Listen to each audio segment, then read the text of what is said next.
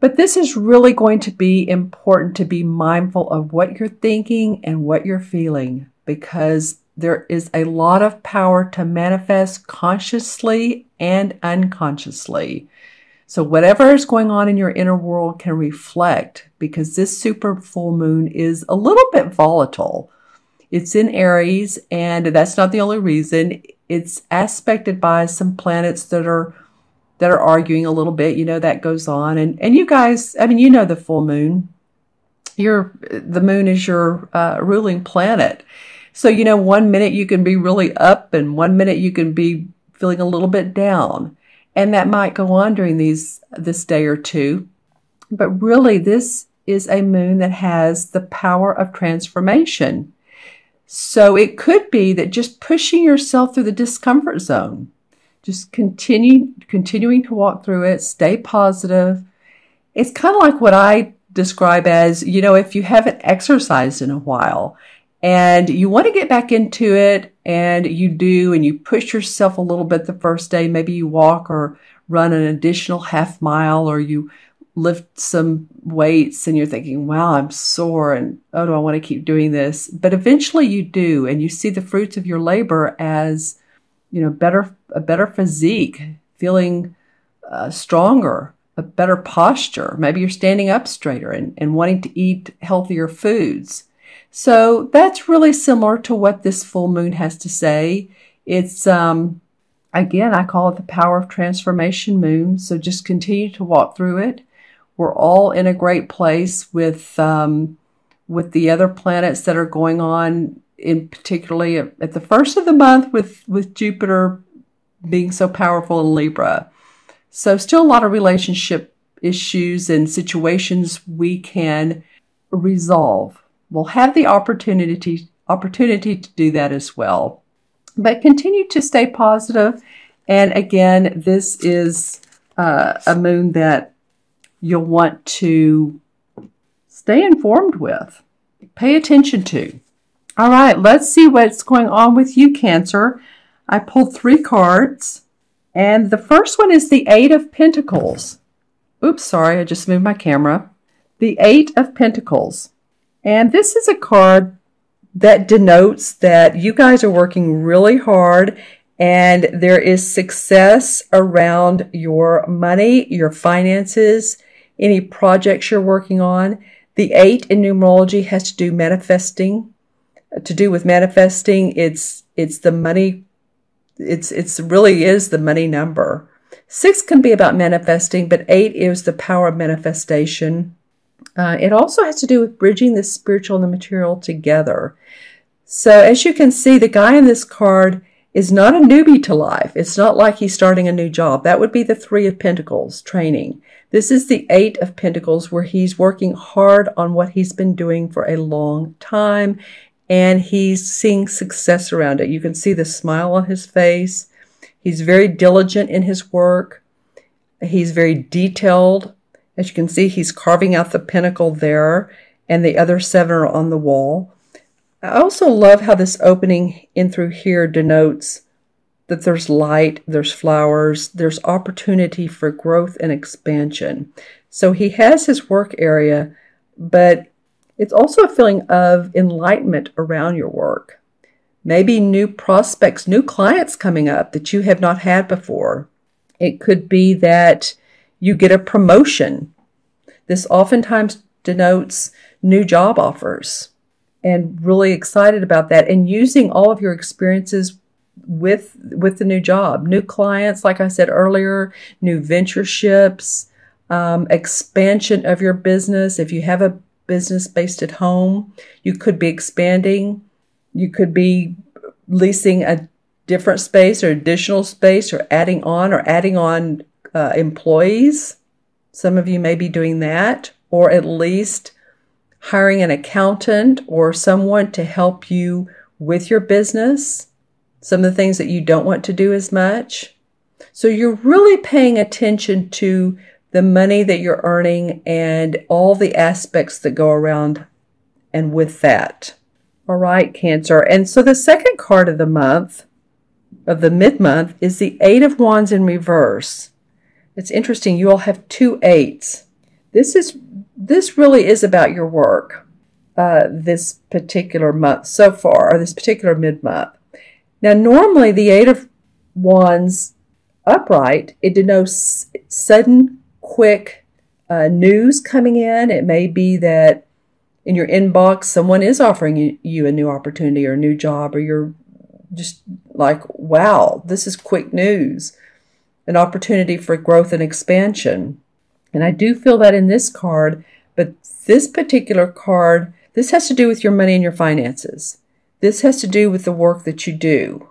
So it could be that you are working hard, you are working diligently, but some of the projects that you want to go forward with are stalled out, or maybe, and I don't mean stalled out forever, but for the time being, or you're reconsidering them. In other words, this card could mean that you take on a job or you and you actually move to do so. And it could be that if some of you are offered a new opportunity that it's it's not yet taking place, the company's not ready or you're not ready. It feels like a little bit of stalled out plans. And I'll draw a clarification on card on this and see what it might be about. Um, but it normally denotes quick, sudden movement. So obviously there's a little bit of a, a pause going on. So the last card here is the Seven of Swords. They call it a Thames in this particular card. The Seven of Swords has to do with, to, to me, and when I look at this card, it has to do with getting away from a situation or pausing a situation because you know you you feel like you need to you feel like oh i got out of that one wow how did i i narrowly escape that or you're feeling like you're walking away with more than than you probably should have.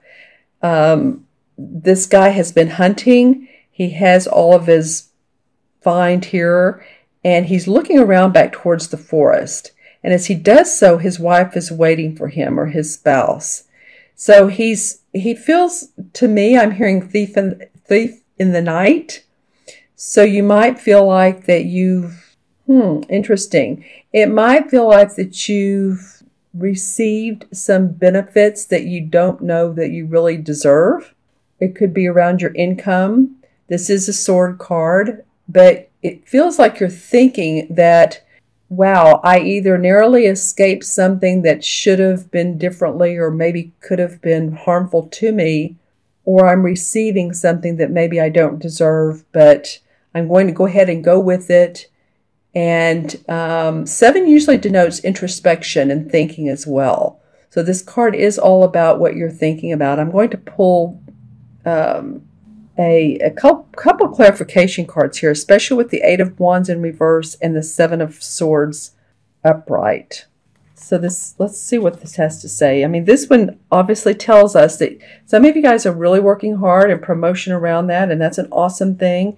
This Eight of Wands in reverse, stalled out plans. Why is that? Well, the Ace of Rods wanted to come up.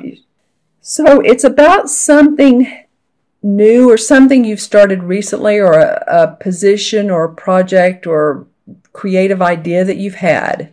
Because the Ace of Rod is all about inspiration, creativity, coming up with a new way of, of planning and doing. And so it could be that it's you're just not quite there yet. This could be around a creative idea that you've had and you're still working on that, but it's just not quite there. And maybe this is you working on it and it's like a little bit stalled. So let's see what this Seven of Swords, what, what's this about with you all thinking that maybe, okay, well, now the, uh, the Queen of Rods comes up in reverse. Well, a lot of rod cards for you Cancer, rods have to do with our work. So the Queen of Rods normally upright, she's a creative woman. She's has a lot of uh, artistic ability. She's intuitive. She loves earth. You can tell she loves animals. She has a cat on her lap and she's holding a sunflower. She's a very optimistic woman. Usually, if, well, it is a fire sign, could be a Sagittarius, Aries, or um, um, Leo. And oftentimes when I pause like that, that very much is the person, but but don't, you know, close off to others. So this person was in reverse. Interesting.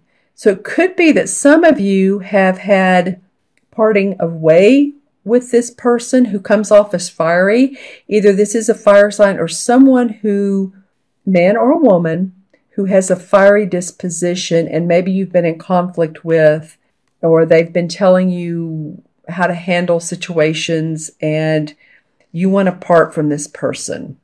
You want, meaning part ways with. I'm going to draw one more clarification card around that. Interesting. Okay, well, this now the Three of Pentacles in reverse, and I was talking about the Three of Pentacles earlier when it's upright. This is about um, getting certified, new training, job training, um, or teaching someone skills. So it very much could be that you've had a falling out with someone who, either a client or a mentor, or maybe you're a supervisor, but someone about their the work and money. They're a little bit fiery, and you're trying to get away from this situation, or at least, yeah, I'm going to go with that. Get away from this situation. So let me know in the comments below, Cancer, you know, who this might be and um, anything else that you all want to say about these particular cards. Interesting. I'm going to add these up numerologically. 8 and 8 is 16. 16 and 7 is what, 23?